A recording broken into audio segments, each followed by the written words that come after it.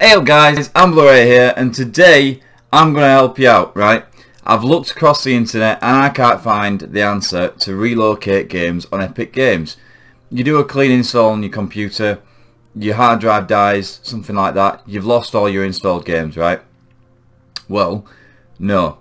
If you back up uh, a certain games folder, you can then relocate them. Like on Steam, on Rockstar Launcher, on pretty much any other launcher, you can relocate your game. Epic, there's no option.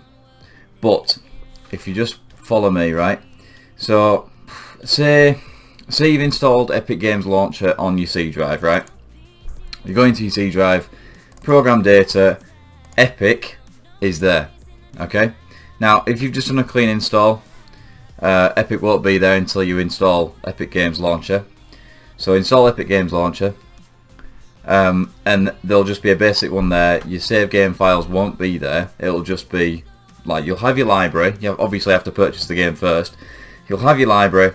It'll just be grayed out. You'll have no games installed. Okay, so say you've installed your games on drive D, E, F, whatever drive, and you've got the launcher on C. You can relocate all other drives from each other hard drive from one folder. If you back up your Epic folder before doing a clean install, before replacing your computer, whatever, if, if your hard drive dies and you've lost it, you've not made a backup, then I'm sorry you've lost it. But right click, copy that, and paste that folder into a different drive, into wherever you want. Into a different hard drive than you're gonna uh, clean. So that when you do a clean install it'll only ever clean install your boot partition or your boot hard drive which happens to be the C drive for me. It usually is a C drive by default but it might not be. So put it on a different hard drive. Put it on an external hard drive if you want. You can plug one in put it on a, a USB stick. It's not a big file. So just as long as it's not on that hard drive it's fine so you've put it in here, let's say, right, and I did, just for backup purposes. I put it in here. It's only 52 meg, it's tiny. You can put it on a cloud storage if you want, like, it, it won't take long to back up. Um, copy it out of the drive you've used to, to back it up.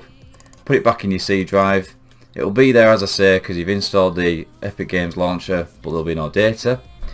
Um, right click over it, paste, and choose to overwrite that folder. Once you've done that, go into Epic Games and all your games will be there. Okay? It'll it'll be bright, it won't be grayed out. You'll have all your games back. You didn't have to relocate any when you don't have the option on Epic Games. That's the annoying thing. I looked through forums and I couldn't find I couldn't find anything. So use that method and you'll be able to get your games back, but make sure you back up your data. If you don't, you're gonna have to install them games again from from the start, which is annoying. But you know, just make sure you back up that one folder. Sorry, one thing, you won't be able to see program data. It's a hidden file, okay? Go to view uh, and tick the checkbox hidden items. Right, the object or folder will then appear. I'll just show you. So uncheck the box, that's what you will see, or relatively something like that. If you tick hidden items in the view menu, they are greyed out slightly, so you know it's a hidden item, plus it's just appeared. uh, go into there, and there you go, there's your hidden items. All the save games are in this folder. If you enjoyed this video, please leave a like, subscribe if you're new, and I'll see you later. Bye.